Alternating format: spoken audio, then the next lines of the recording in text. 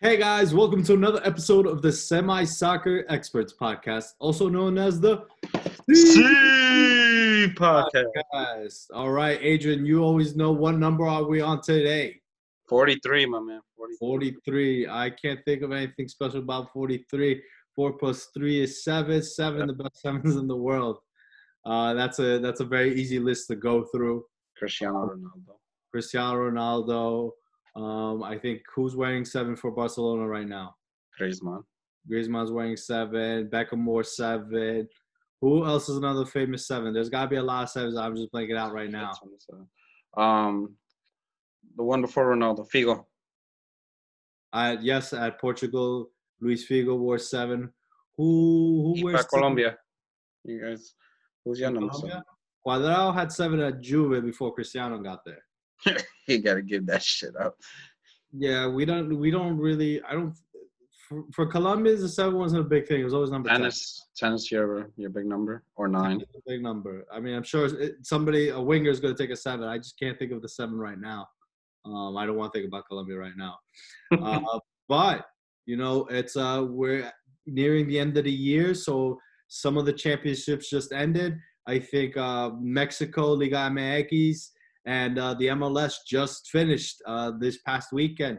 Leon was crowned champions of Mexico, and the Columbus Crew was crowned uh, was crowned champions of, of the United States. Uh, you know, I think we got to talk about that. Adrian, which one? Which one of those two should we tackle first? Well, let's talk about the easy one for us um, from MLS, Columbus Crew. Um, as funny as it is, um, Seattle were in the final against them, and a lot of people were predicting that Seattle was gonna, you know, be the the dominant force and retain again because they were the champions from last year. And the crazy thing about Seattle is they're not they're never the best team going into the playoffs, but they know how to get it done. And that's the one thing we've seen from them for the past couple of years that they are not always the most dominant team, the most um, co- consistent team within the MLS. There are some poor games, but when it comes to playoffs, they they just turn into a different beast, and they they once they won almost won like I think three titles in the last five years. So, you know, a lot of kudos to them. But Columbus Crew, you know, they took it to them, and I watched part of the game on this past weekend, and you know, they they went at them quick, they because they knew if they kept the game the way it was, like 0 0, 1 0, they know Seattle can come back and start winning because they had the firepower. And Columbus Crew took advantage of that and were able to be dominant for the first half and take it over for the second half. So, yeah, major props to Columbus Crew. And it's, it's, it's interesting, too, to see a different team other than like Seattle or your Galaxy or like even Toronto. You know, different teams make it way more competitive from MLS from a viewer stand, standpoint.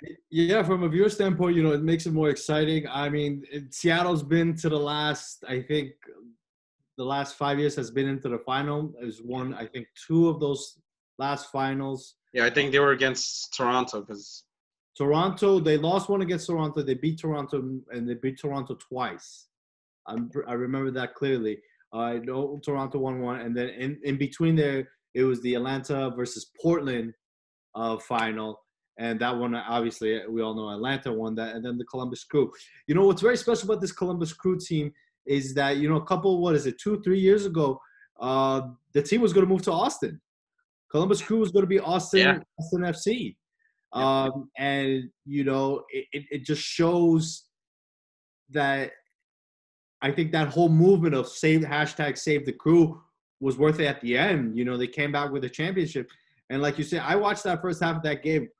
Columbus was extremely dominant. I I, I did not expect Seattle to be such a, a really poor team. It, it didn't they didn't look in that first half they didn't look like they were uh, worthy of being in the final. Um, they did get a couple more opportunities in the second half, but I think you know Columbus just sealed the deal with the third goal and you know all is well in Columbus.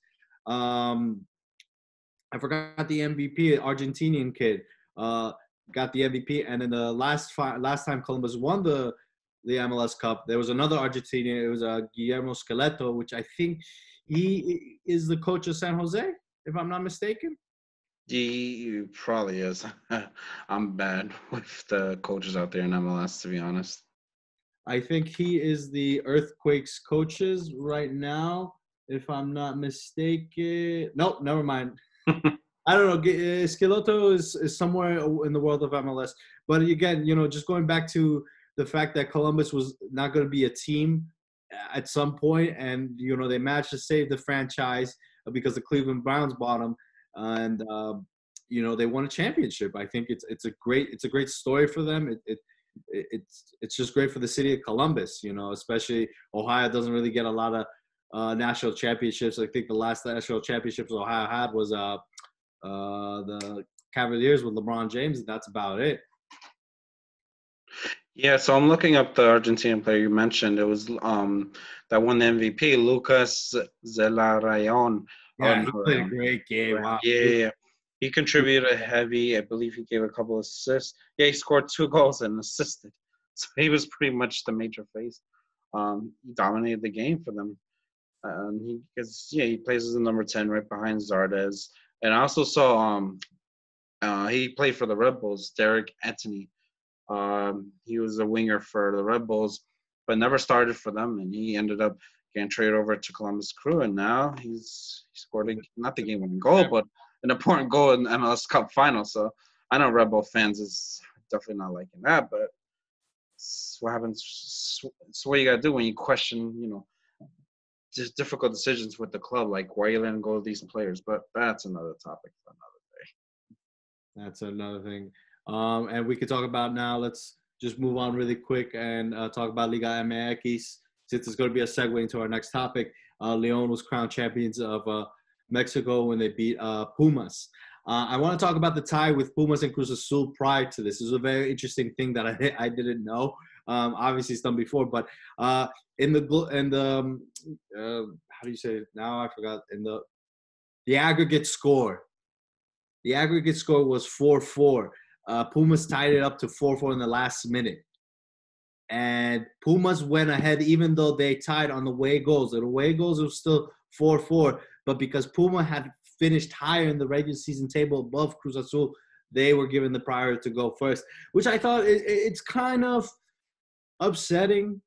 You know, when you get into this uh, La, La Liguilla or the knockout stages, you kind of want to wash away the past table in the past segment of the of the of the competition, and you know you're in the knockout stage. We don't have to worry about the rest. But in the way that Mexico does it, yeah, you still got to take in count the the table, which I, I thought was kind of a little bit ridiculous. I wasn't a fan of that notion. You know, seeing that Pumas had just only tied four four on a scoring merit, I think they should have gone to penalties or gone into the extra time. But it is what it is. Uh, then the Pumas eventually played Leon in the final, and Leon won. Uh, fun fact about Leon: Landon Don. I think that was Landon Donovan's Landon Donovan's last professional club as a footballer. Uh, I think he did play a little bit of indoor major league indoor soccer. I wouldn't be surprised knowing Donovan. But yeah, it's been an interesting um, season for for these teams as well. Um, and one thing I want to touch base on are like a little bit of the rumors that we've been hearing is that um, there's a potential merger between both MLS and Liga MX. So, Mario, I believe you have more insight about this. Care to share? So yeah, Grant Wahl had a uh, interview with Don Garber, and there was uh, what it looked like alluding to that at some point they were in talks of merging uh, Liga MX into MLS. Now, as fans, I can tell you right now, I'm not I'm not a fan of this at all. You know, um, it's been it's not it's not no secret that the American soccer business world is encroaching on the Mexican soccer world, and they're starting to collaborate more and more to the point that you know the people that run MLS and the U.S. Soccer Federation are going to be the same people that run Liga MX and, and the Mexican Mexican Soccer, Federation.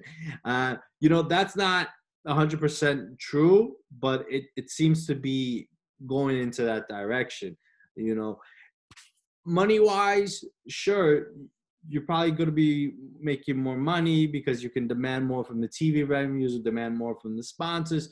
But from a sporting perspective, you're you're not going to have you know MLS is approaching 30 uh 30 teams.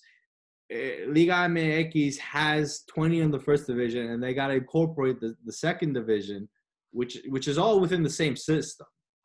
You know, mind you, MLS is a single entity, and now all these teams in Liga MX are individual franchise, individual teams, but in the, within the same system between the first, second, and third tiers. That's what I was gonna say. He's gonna mess up a lot of the cash flow for both teams. Absolutely, you know. And now, well, you could talk about the United States with the USL. Well, you know, MLS operates independently of the USL. Mhm. You know, so so there's that issue. On a sporting merit, you know, USL. Where does USL stand for? Where does the NISA stand on? Where does um, you know these other smaller leagues, or smaller teams in in, this country stand? Um, I'm not a fan of this. I, I don't think this is a good idea because again, just going back, MLS is a single entity. You know, all these teams are franchises; they're not individual companies. Liga MX, on the other hand, Club America is different from Chivas of Guadalajara. You know, and if you think about the rivalry and the competition between those two teams, I don't think they want to collaborate on any any front. Yeah. You know, unlike unlike you know New York City, New, NYCFC, and the New York Red Bulls, and all honestly are the same company. You know, they're they owned by MLS. They're a single entity. Whatever. As You could say, you can make the arguments that NYCFC is is owned by the City Group and Red Bulls is owned by Red Bulls. Whatever, but they still have to. You they have the, to deal with MLS as a as a whole thing because all the rules and restrictions, um, even including designated players. I'm pretty sure Liga MX don't do they don't um, do that. Right. They just buy whoever the fuck they want. To be honest, they want. Absolutely. You know, there is no salary cap in Mexico. yeah. There so that's no going to be a very different like uh, selling point for MLS teams against Liga MX teams because if that's the case, what's what's not to give for Liga MX to attract any players, and they got to figure that out uh, as a whole financial standpoint because if they want you know them both to collaborate because you're gonna have MLS teams complaining that hey these teams from Liga MX can buy whoever they want. This is that's a disadvantage for us, you know, Right. because we have a salary cap, they don't. right. So you could definitely see both sides, you know, bitching and going at each other because it's not gonna it's not gonna make any sense. And there's so much um, issues stemming from that. Even if you were to combine it, you need to have a structured salary cap. And the other thing too is like I'm not saying a lot of these MLS teams don't have money, but some of them really don't have the money wherewithal to compete against like any of the top teams with Liga MX if they were to set like a higher salary because that's what they're gonna have to do. There has to be a higher salary cap because Liga MX are not going to settle for the bullshit money that MLS pay their own, you know, um, athletes. So something has to be made, and the only way it's going to be made is going to be going up. 'cause Money is money. You know, and, and you know what the, the thing is though that you know MLS is the structures based off the NFL. Remember, Don Garber is an NFL guy. Yep. You know, I don't I don't see him get rid of the salary cap, the designated player, the designated player, all this. Um, you know, what is it? The international slots, all that stuff. You know, it's very interesting because you know they they they set these rules up for competitive balance. Yep. This is why we saw such a great Philadelphia side. You know, Philly. I think this is the first time that Philly won the Supporter Shield. I could be mistaken, but in my recent memory, this is the best Philly team I've ever seen. Usually, Philly's at the bottom. Yep. I've always remembered Philly being a bad team, and let's be honest, that franchise doesn't generate a lot of revenue. That team, they don't have a lot of, uh, you know, there's- support. It's not not the support, but it's just then it's not. You know, you would think the Philly market would be a strong market to base off, but they haven't really lived up to its potential because Exactly, yep. um like not just like the Red Bulls but it's just not like hey you think of a soccer team you're not gonna think about philly like you're just gonna know Yeah. about new york la etc You don't, you don't exactly. You don't think about Philly. So again, you know, it's because of this competitive balance in the MLS that we got to see a great competitive Philly that won the Supporter Shield. Now that's not the case in Mexico. You know, the, the team with the most money, you know, gets the most players. And now obviously Leon doesn't have more money than Chivas, Club America, Monterrey, Tigres, or Cruz Azul. But you know, once in a while, there's a Leicester City of Mexico. Yeah, and i you know let's just not talk about money for a second somehow they figure out money if they were to merge let's just say the next year or two how how far do you think and somehow make like i don't know like a 20 30 team like standings within mls and the Yankees? um how do- how many do you think any mls teams will make like top three top five against like a strong Liga MX team A strong, if there, if, you know, I, I don't see, I don't see. um competitive balance isn't there no, the competitive balance isn't there. I mean, if you did a knockout stage, yeah, you got you'll get a couple of surprises. But if you did a, a whole season, you know, year long season, it's not gonna work. Now that's Travel another. to Mexico, especially coming from New York. Fucking hell. That's gonna be. That's actually yeah. That's how that. There's the logistics of it. You know, Yeah. uh, a team, New York Red Bulls has to fly over all the way over to Tijuana. Yeah. To play, so they Red Bulls got to play LAFC, um, San Jose, uh, the Galaxy. it has to be like a road trip because it makes no sense for them to go for one game right. away to Mexico.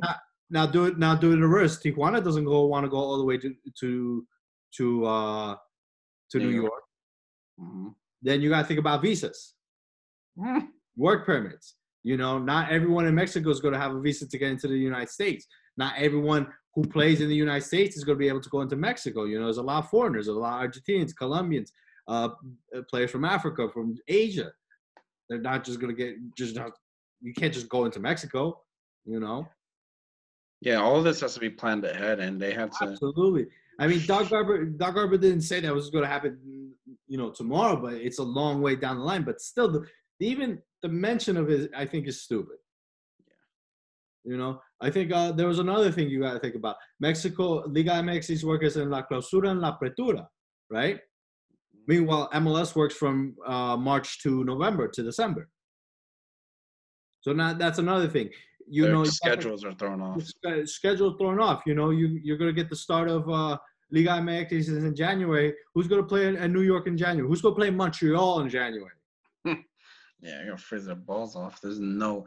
Yeah, that's the thing too, because even if they were to start the MLS that early in the season, especially in Montreal, it's gonna be super cold, and they're just gonna, especially if you're in Montreal, you're not gonna want to play there because like you gotta have to train there, practice, live, and everything. You have to deal with that. The whole playing conditions for from January until like even March, it's still cold, but Right. it sounds like a nightmare, to say the least.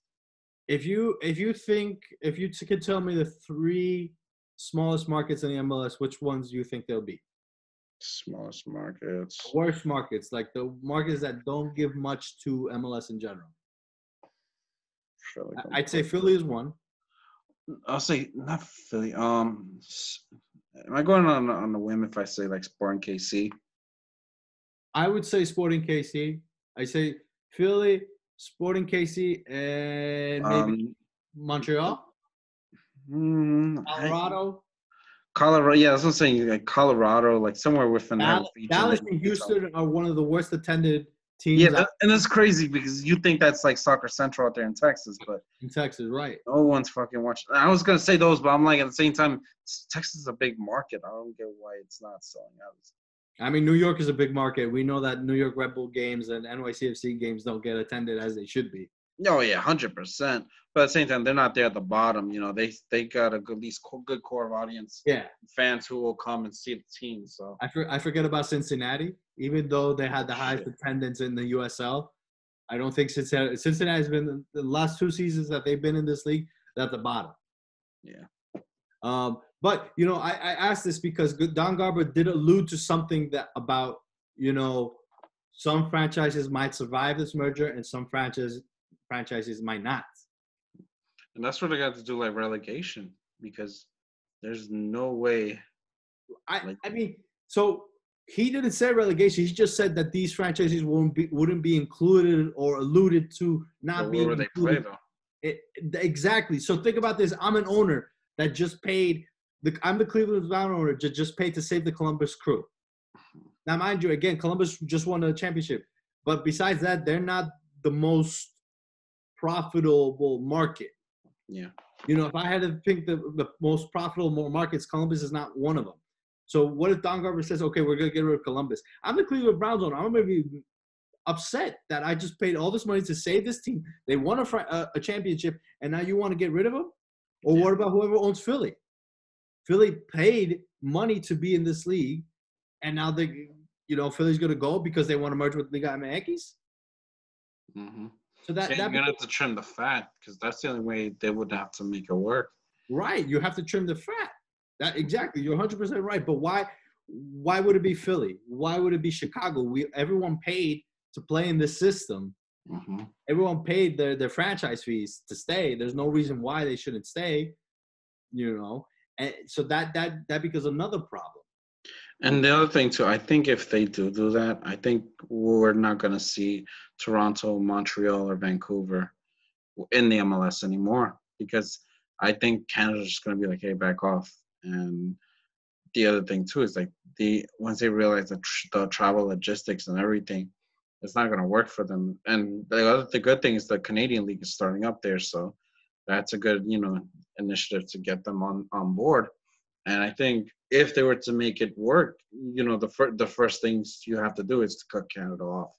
I think they have to cut off those Canadian teams. As good as Toronto FC is, and all, um, they can't keep they can't stay with with this division league or anything because it's just going to be a nightmare for those teams, and you're just going to make everyone suffer by going to fucking Canada in J- January. All right, but let me ask you this: Why Canada? You know, you have Montreal, Vancouver, and Toronto. They're not bad. They're, I I think apart from Montreal, Vancouver, and Toronto are good franchises. They are. You know, they they have a lot of supporters. You know, they you know they send like that whole, especially Vancouver, Portland, and Seattle. Those that's the soccer hotbed in the United States. If if we're being honest, that's the a big huge reason for soccer. You know, uh, Vancouver just sent Alphonso Davies to the Bayern, and he won the Champions League. Yeah. You know, so so I ask you this: Why Canada? You know, they, not everyone's gonna want to be going to Canada. I can or I can already see that coming. Um, literally envisioning it off my eyes because it's just it's the travel logistics, the money, and everything. I think it's just gonna be impossible. no, no, and, and you're 100 percent right. But then why go to Mexico? You know, Well, that's- talking, I think they because in the long term of things, if they want to make it work, you have to at least do. You can't do three countries. You got to do two countries at most, because that's just a. That's a killer. No, I know, I know, no, you're right. But you know, we're we're talking about uh, a sporting system that's based on, you know, you got hockey that uh, has works in Canada and the United States. You got basketball that has the Raptors. Uh, you have baseball that has the Toronto Blue Jays. Apart from, I don't think the NFL ever had a franchise in in um, in um in Canada. Canada. No, it's the Canadian Football League or something. But I, I, I'd be, I'd say, I'd say again the same thing to you. I'm the owner of Vancouver. I'm the owner of Montreal. I'm the owner of Toronto. Why is my team going to get caught off if I paid money into into this to play this game? You know, so these are these are the they have to questions be bought out. Well, not bought out, but like paid. you know, paid out, but you know, yeah. again, that comes with legal ramifications. But if we go back, I would rather trim the fat off of Philly. I would rather trim the fat off Cincinnati, and Cincinnati is new. Yeah. Cincinnati just got here. You know, I- don't know about Nashville because they didn't get they didn't get a chance to play with full stadium with I stat. was saying not even Nashville. You also got to factor in all these other teams that are coming into MLS as well, outside of like just these low market. You got St. Louis, teams. you got Sacramento, St. Louis, Sacramento, um, North Carolina, aren't they coming through? and uh, Charlotte. yeah, so Charlotte. So you got all these coming in. We're we're coming on to. to- We're at 26 right now. Austin 27, St. Louis 28, Charlotte 29. Am I missing one? St. Louis, Charlotte, and Sacramento 30. that's 30 teams. with the with the franchises it's 30 teams and i think uh, nfl has 32 hockey has 32 But that's what I'm saying. I think if they're gonna do a merger, they have to. Tr- you're gonna at least have to do like i know you, 30, you, have to trim 36 teams. I think at most. the, you, you have to trim the fat but that's why i'm saying it's stupid yeah. because not all liga mx teams want to leave they don't want to do you, you can't you can't say there's some some Because they're the same as all the other leagues. Is 20 teams and there are 18 and um, Liga MX, right? uh, there are 18 in liga mx you know you got querétaro querétaro finished in 17th place but querétaro got got money Mm-hmm. You know, are they going to make they're going to make a argument for that? I don't know. You got Atlas, that's a traditionally always been in the top flight of Mexico. Um, you got Tijuana, major market. Mhm. Now you got a team like Leon. I, I'm not sure where Leon plays, but they're not usually the top dogs in, in, in Mexico. They won. So now, where's the argument? Which team in Mexico you cut the fat? Or you take all the Mexican teams? or do you don't. You, you trim the fat here. It's tricky. It's very tricky. That's Yeah, why I don't. You I, gotta like you gotta figure out what is like the the worst least case scenario in that aspect because you just have to figure out all the teams you want to factor in and the teams you want to bring in. And I feel like if they do propose this or if it's gonna be sanctioned by Liga MX, I can see a good amount of like maybe even half the teams within that league be like, well, no, we oppose to this. We don't want to be a part of you. you know, it, and it's probably just like the four or five top teams in, in Mexico: America, Pumas, Cruz Azul, Monterrey, Tigres, and Chivas. hmm And, and you know, and, and I just want to go back to s- something that we've always talked about is like you know, money money's en- encroaching on the game where these these club executives, the, these club owners, they just want the money, but they don't think about the sporting wise. You know, let's just say a whole half the teams of MLS are gone and half the teams of MLS are gone. You know, I can see a good case where the USL absorbs those MLS teams and then becomes a very strong and, and a better league than what this MLS Liga MX, MX hybrid is. I'm not really Yeah, that's sure. the that's the other cool thing too. Like the outcomes, like you're definitely gonna see different teams, and also you're gonna see more USL, more the local teams taking part because they're gonna have to have their own local leagues, and that'll be a good push, you know, for the lower for the ones there. But at the same time, it's it's so it's a lot of work to say the least to get done. I'm just thinking about it from like a logistical point of view because you have to factor in all these regions, all these you know where all these teams play at, how to get there to and from, the scheduling, you know, like you said as well, the permits, everything, everything associated with that. It's mind-boggling, but you know, I, it is possible, but it's just a pain in the ass to get it done. and and not not to repeat myself, but you're right. It, it is it is going to be a pain. It's going to be a problem. Um, but you know, you, you, they're trying to do the Super League, Yeah, the Super League in North America. all teams doing super. and and I've seen and this this year alone in 2020 I've seen the case against the Super League. Yeah. I'm gonna I'm gonna use this. I'm gonna talk about this once. I don't ever want to talk about it again. The group of death in the Champions League. You know, uh, we saw Real Madrid, Mönchengladbach, Shakhtar, and Inter. The way that group progressed to the last match day, all four teams had the possibility of going through. yeah, going and it wasn't determined until you guys lost at the end because have Correct. either way. Well, we tied. That game was tied. Oh yeah, yeah. with Shakhtar 0-0. Yeah, no, and you're right. It wasn't determined to the end. But, you know, on paper, the two teams that were supposed to advance from that group was Real Madrid and Inter Milan.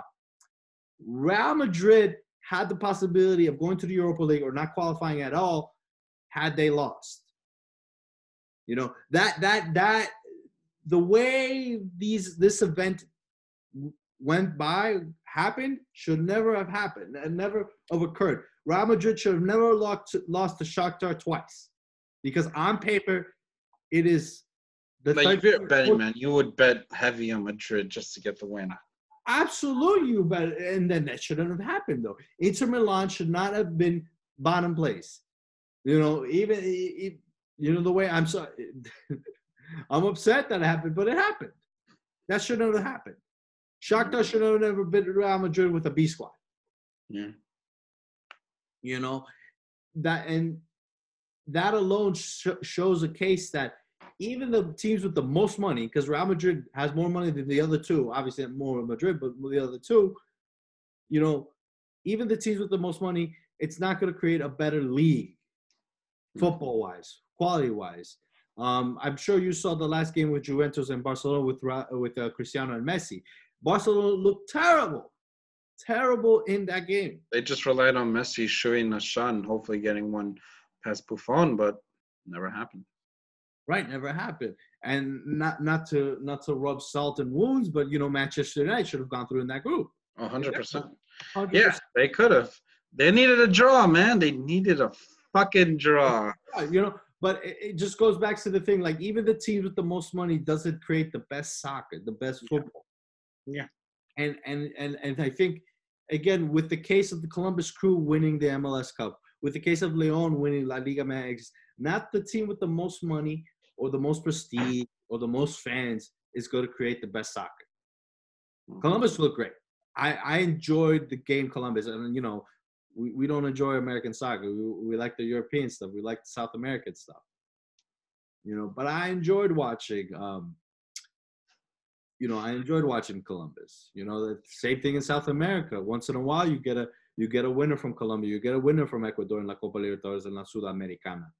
You know, Yeah, there- there just to tie it all together though i think i get what you mean and that's the interesting thing with the super league because let's just say for shits and giggles this has happened and we eventually you know we see like let's just say it's split half and half half mls half liga mx this will take place in like two three years from now i strongly think that liga mx is going to dominate and they're going to make the mls teams look like a joke and that's another that's another thing too. It's a gamble if MLS wants to do a merger, because hey, they can show up and be like, hey, we're gonna play against these teams from Mexico. Let's show them what they got.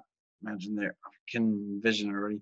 They're gonna get spanked. A lot of them are gonna get spanked because the soccer's not there compared to like you know how the, how it is in Mexico. The training's different. The way they develop the players is a lot more better. You could and you can make an argument saying, hey, in America, you know, we're starting to get our forefront players. But like we mentioned a couple episodes before, these are American-born talents. These are talents who've had like family that are, that is that are born American or have American rights. So the competitive balance is not going to be there. But you know, and just even to the to the look, McKennie was born in Dallas, but even then, they actually spoke about his situation. Like his his family had connects in Germany. You know, yeah, McKennie was born in, in Dallas, and he's actually pretty American. But the, because of the connects, they went to get the training, the education, the development, not in America, in Europe. You know, same thing. Like going back to your point, the Mexican, the Mexican development, the culture, the idea of, of a kid growing up with his foot on his feet. It's not it's not in the United States yet. Amer- we don't have a culture in America. We do not have football culture. If if anything, what we do have is just like a lot of us, like you and me, can relate. We're, you know, we're the sons of immigrants who embraced that culture and just brought it here, and we oh, carry that culture. But technically, this is not American culture. This is culture from a different, you know, a different region. Like you're South America. I'm Central American. We got we grew up with different soccer, but we know the whole culture behind it and the love for the sport, and that's the one thing Americans don't really grasp in this day and age. And actually, I, I hate to sidetrack, but I you can also relate. Um, I know you don't stand Barstool, but I I just watched this video where Troopz. I don't know if you've seen from AFTV. He he's brought over to Bar to work for Barstool to talk about Arsenal and their pains. And they had a live stream of him watching Arsenal. And when they gave up a goal, you could see Troopz's very, you know, vivid and, and just ex- going off on a rant, like talking about the whole, the whole, um, as to why Arsenal gave up the goal. And, you know, everyone around him, like our Barstool guys, Americans, they don't know what the fuck he's talking. They're just looking at him like mad confused. Like, uh huh, huh. The, the game against Burnley. Yeah, um, the one that just happened in Southampton. Okay, okay, Southampton. Yeah, even Portnoy was there, homeboy, the presidente. A douchebag was there, and he just talking, oh, he's just like as if they're watching football, like American football, not Mm. like soccer. Like, that's what I'm trying. My whole point is like a lot of these Americans, they don't have the fucking culture. They don't have the grass, and it's sad because you know we there's a lot of people who live out here, and you know the beautiful game it can be the biggest game here in the states, but it's not, sadly. No, you're right. It's it's it's a culture. It's also a cultural thing, you know.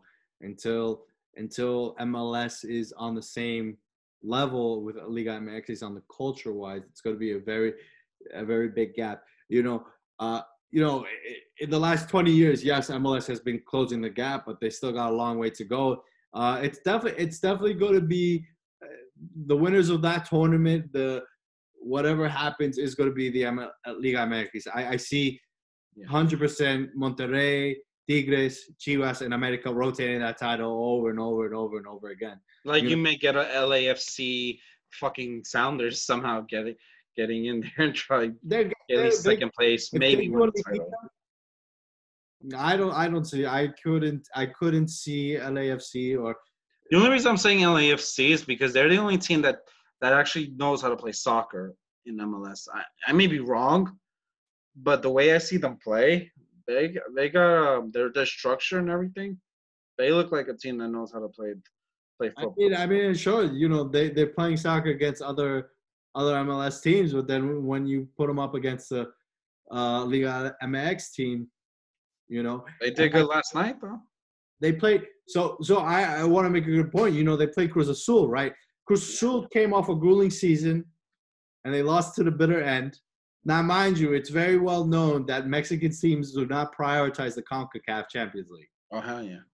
You know, so that I, I'm just putting out there that Cruz Azul was just ending the season. Their their money was on La uh, La Liga MX. They lost it. Whatever happens to the uh, the Concacaf is whatever happens. You know. Um, no, right. L- LAFC beat Cruz Azul. I mean, it's not the first time that an MLS side beats a Mexico Mexican side. Long term, though, I, I I don't see it. You know, out of every five Mexican wins for the championship, uh, you might get one American. But that that's my opinion. Uh, I'll, I'll stick to it though. Yeah, no, I totally agree with you on that. That's what I'm saying. Like, MLS is starting to close the gap, but they're nowhere near there. But the one thing I would say, culture-wise, and I'm just bring, trying to bring it all um, together with that, if the USA team makes an impact these next two World Cups, 2022 and 2026, because this is like going to be our next golden generation, this has the potential to bring it to the forefront and just be like, hey, you know, this is who the fuck we are. You know, we're Amer- we're the new American generation. Um, we can they can they can play their own football. It's just they don't have the the right coach to do it, but at the same time, it, it is you know very optimistic, and I I can see the way you know the amount of talent they have is crazy. It's just getting all the pieces together and having them, you know, gel and have that chemistry to work and function, win and you know even lose as a team. So well, it's just it's a long structure, but you know you just never it never hurts never hurts to think or wishful thinking. I never heard to think. You know, uh, just to add on to that, you know, I think you said earlier, like a lot of these players are just, you know, naturalized American, not really American. And I'm I'm thinking about all the players that are being highlighted. There was a highlight tape of all the Americans that scored recently over the past weekend. Yeah. Every single one of those players I thought about it had some type of connection to get to Europe, to be developed in Europe you know, uh, Gio Reyna, his father played for Man City, works for NYCFC. They sent him over to Europe. Timothy Weah is the son of George Weah, the, only African with a Ballon d'Or, president of Liberia, went to Europe. Um, Christian Pulisic had connection in Europe. Um, the, the the kid that plays in uh, Barcelona B, and that's Konrad. Konrad. Yeah. They, they they were born in Konrad was born in Florida but grew up in Europe, and Dest grew, was born in the Netherlands and grew up in the Netherlands. yeah. You know, so again, like okay, if the USA wins, let's just say wins the World Cup, I I could not credit it to the MLS. I would not credit it at all. I would not credit to any sporting achievement. But MLS is gonna credit the Oh, shit out of that though. Hundred percent MLS. It, it's Like, funny. Uh, these are our boys. It's Psych. very interesting because a lot of the times when these players score, the MLS social media, oh, they blow up. The America US Federation, they, they twisted the narrative as is like this is our product. It's like no, this False is claiming. They're false claiming. absolutely. I think they're they're they're force claiming. You know, I think th- there is one player. Tyler Adams is the only player I think truly was developed by the MLS system, and even then, the Red Red Bulls Bulls. are European. Yeah, I think that's the only thing Red Bulls. Yeah, that's the. The Red That's the thing. Like in, in theory, it's a European company. And that's a that's a crazy thing because you know they are a European company, and it's funny because same thing, not just um, Tyler Adams, but the American coach who's who developed them too, Jesse Marsch. He's already in in the European Red Bull he, for he- not Leipzig, the other team, Salzburg. Salzburg. He's in Salzburg. Yeah, he's the coach for them. So he's another coach. He's the one I, I would recommend to coach this national team, but that's another argument. I, I, I think no, and I, I agree with you 100. percent But I think he needs to. I, I would like to see him succeed first in um Mhm. in in. I like to see him succeed first as a club coach because he's the he's the head coach of Salzburg right now. Yeah. Um, it, interesting enough, though, they were talking about the Leverkusen coach. He was born in Jersey. but and, and again, the American media was spinning him as he's an American, American coach. born coach. Like he is not. He he played one year college and then he went to play lower division in, in Germany. I think he might have gotten a, a Bundesliga caps on one team, but he did his entire coaching education is German. Germany, yeah. It's Germany. It's not The America. other thing, too, the other thing too, is education is probably free in Germany, and that's the other shit too, because your education in there in Germany is probably free, and you have an advantage out there because you're not just gonna get like an education, you're gonna get a whole football education out there too if you choose your, you know, you you you select the right fields to study in, and that's that's a good privilege to you know be brought up upon because Germany they know their shit about the footy, bro. So it's it's obviously the right decision, the smart decision to do if you're trying to develop and gain your knowledge out there. Yeah, no. So I'm just looking through this guy. Uh, uh, his name is Pellegrino uh, Matarazzo. So he, he's Italian, but he was born in New Jersey. You know, and he he played he played at Columbia Oh, from Jersey. New York City. But you know, if you just look at his background, he, he went after he played a year in Columbia for his his D1. You know, he went to play in the lower leagues in Germany. You know, he's got he got his German education, and- and to your point, you know, the coaching education is more accessible. and It is definitely free. I mean, I, I don't know if it is free, but it's definitely more accessible than it is here. Yeah. Like me as a coach, I can tell you it's absolutely difficult to just get one one little certificate. You know, and I'm paying hundred dollars per certificate. I don't think that happens in Germany. Those who want to be a coach can become a coach. You know, they make that accessible. Yeah. So again, it's it's another thing where the American Americans were spinning the the success of Americans in Europe as something ma- made and produced in this country when it is not. Yeah. You know, but I, I totally get you. before we go on a tangent, that's a whole other tangent. Always go on tangents, mate. but I think just to you know bring this up, like tie it all together. Let's tie it all together. Um, like we're saying, merger, uh, ridiculous idea. Even if it was to be brought up five years later, it's gonna come with a lot of controversy. A lot of people are gonna hate it. It's gonna be madness. And like you said, um, you think more more than less, more than likely, the Mexican teams are gonna dominate that league, and it's gonna it's gonna blow up in the Americans' face at first, I think, because I don't. I think you know playing against this high level caliber of Mexican teams, they're they're not just get the culture shock. They're just gonna get overwhelmed. But I do see like one or two teams like making it out because I do believe MLS do have some solid teams, but I don't know if they're that level to compete. That's the one thing that that I do question MLS in because as much um, optimism I have, I just don't think they're there yet and Mhm. that's the thing they need to work on to get there. And granted, you know, it's only a league that's been around for like what 20 years, 20, almost 30 years. So 96. Hmm? Nin- 1996 was the inaugural year, so MLS has been 24 around years old. 24 years old. They're gonna be 25. So it's yeah, it's not too bad.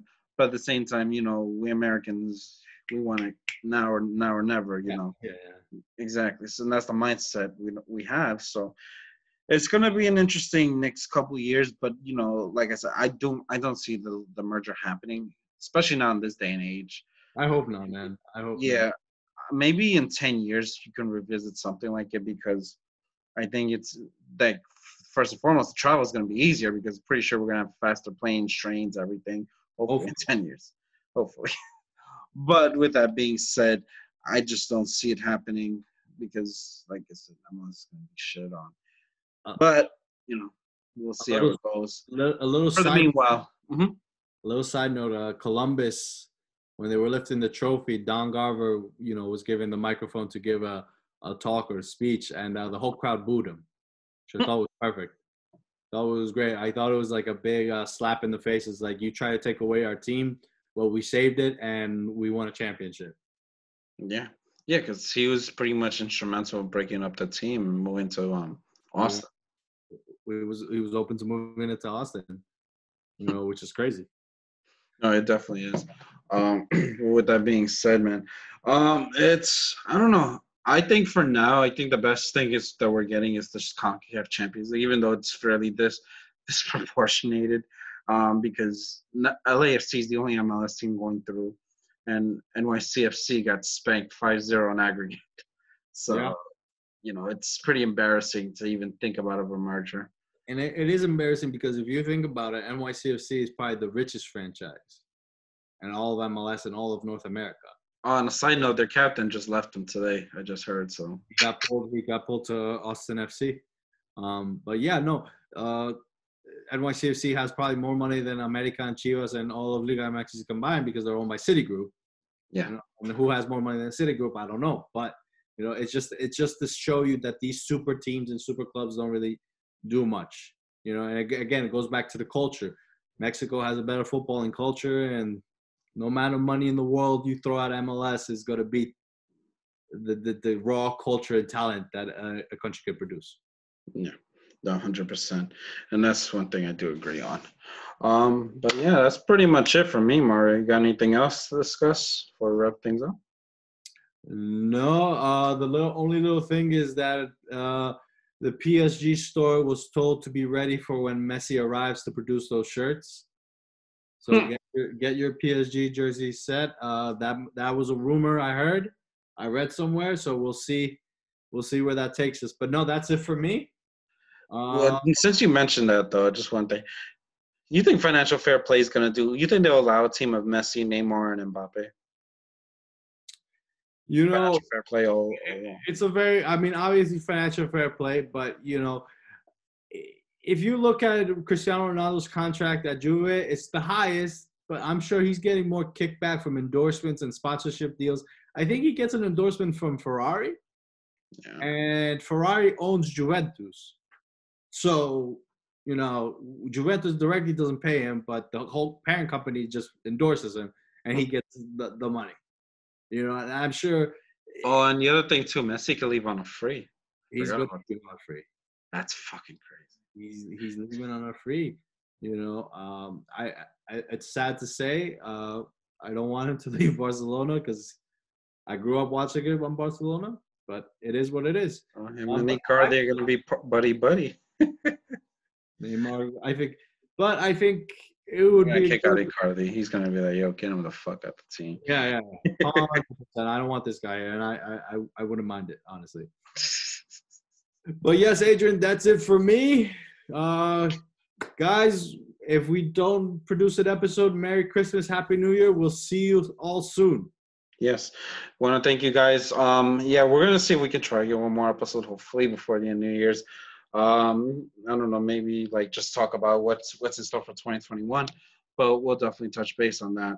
But we want to thank you guys for listening and thank you. And listen to our Thank you, guys. podcast on YouTube, Sp- not Spotify, fuck Spotify, Apple, Apple Podcasts, SoundCloud, all that fun stuff. You can find the links. Thank you guys and have a good one.